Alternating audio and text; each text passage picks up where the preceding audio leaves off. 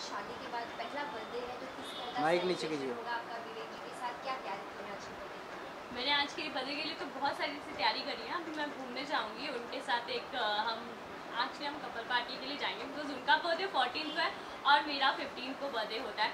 तो हम लोग बहुत सारी चीज़ें शेयर भी करते हैं। हम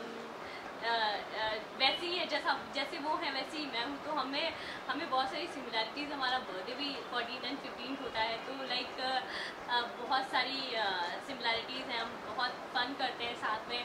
हम जॉइंट बर्थडे मनाते हैं actually double double day birthday है आज हमारा। तो मैं उनके साथ बाहर घूमने जाने वाली हूँ ढेर सारे से गिफ्ट मिले हैं मुझे प्लाटिनियम इयरिंग्स मिले हैं। तो I am so much happy today कि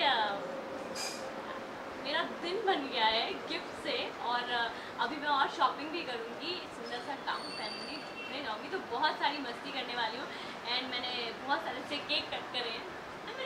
Very much happy today actually और फैंस से क्या कुछ कहना चाहेंगे जिसके से फैंस रात से ही बर्थडे की विशेष देना स्टार्ट कर दिए हैं आपको उनका जो प्यार है वो दिखा रहे हैं। इतने प्यारे फैंस हैं मेरे इतने प्यारे फ्रेंड्स हैं मेरे इतने प्यारी जनता है इतनी प्यारी ऑडियंस है जो इतना सारा सा प्यार देती है मुझे आज मैं जो भी हो, वो उनके कारण हो और उनका जो प्यार मुझे मिलता है, उससे मुझे बहुत ताकत मिलती है स्ट्रेंथ मिलती है आगे बढ़ने के लिए, कुछ करने के लिए।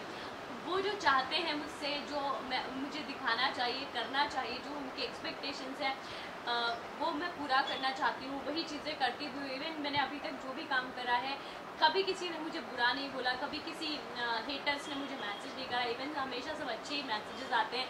हमेशा लोग यही बोलते हैं कि, आकांक्षा जी, आप बहुत अच्छी एक्टिंग कर रही हैं।